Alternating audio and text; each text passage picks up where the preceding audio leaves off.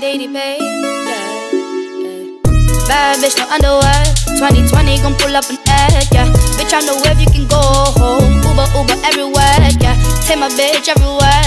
We be getting money everywhere, yeah. They don't even know. They be throwing shade everywhere.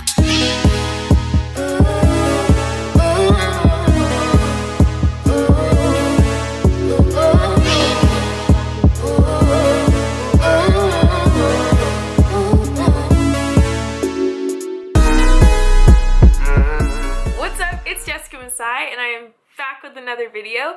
This one is about my hair.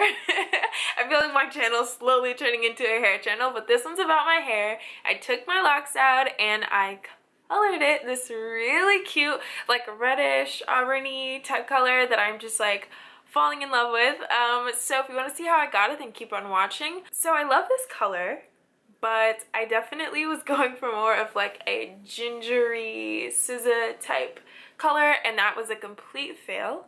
Uh, so this video will also be about how to go ginger without making the mistakes that I made. Um, so if you're interested in that, then keep on watching. Okay, so I started off on previously deep conditioned, conditioned and shampooed hair just because my hair was in a protective style. I sectioned it and then I started to apply the bleach. So I used the L'Oreal Quick Blue Bleach, which is my favorite. I feel like it instantly tones the hair so you don't need to do a lot after it. So I used 40 volume developer and I was supposed to use 20 volume but here's what happened. So I used 40 on my ends because my ends had previously been blonde a long time ago. Um, and then I let that sit for about 10 minutes. So after I let that sit for 10 minutes, it was very clearly already lightening. So I put that same 40 developer volume mixture on my roots and that was my gigantic mistake. So I put it on my roots and I let it sit for 15 minutes.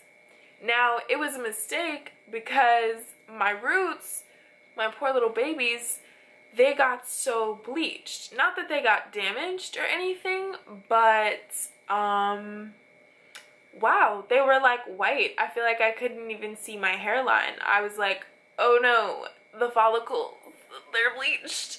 So, um what I would recommend in this instant is to do what I should have done, which was just do the 20 volume developer on my roots for not even for 15 minutes, maybe for about 10. So after the bleaching process was finished, I then decided to, after I rinsed the hair out, I put a deep conditioner on it for maybe about 30 minutes just while I grabbed some food, just to sort of make sure that my hair was okay because obviously after you bleach, it's very dry and sort of like, it's just not cute.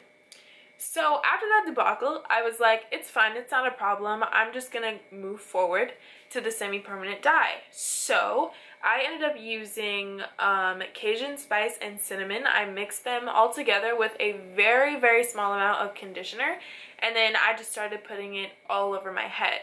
So I figured that because my hair color wasn't even, that it wouldn't give me an even coloring but I didn't anticipate the way that it was gonna look on my roots.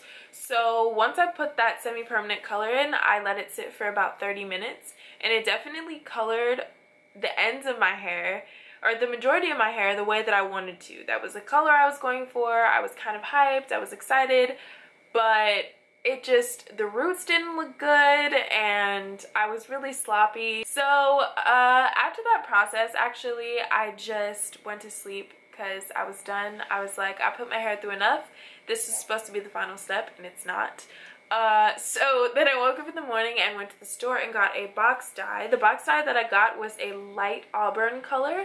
So I concentrated it all in my roots and then I just put what was left over my hair and the way that I applied it was like making sure that when my hair was pulled back that it was you know all one color and then in the back I did that same sort of thing. Um so I let that sit for about 30 minutes like it says and then yeah I rinsed her out. I put a little bit of deep conditioner on her but not much Um, and then I blow dried my hair and I straightened it and I did a little bump and curl and this is what I ended up with. I'm super happy with this color actually. I definitely wanted that ginger orange type of thing that's so popular right now and cute but I, I got a reddish color instead and I'm really feeling it. I'm also feeling my eyebrows like I did them kind of reddish also. Yeah, those are my words of advice that was my that was my process. I hope that this video was helpful. I hope you really like this video. Uh, like, subscribe, comment, all of that good stuff.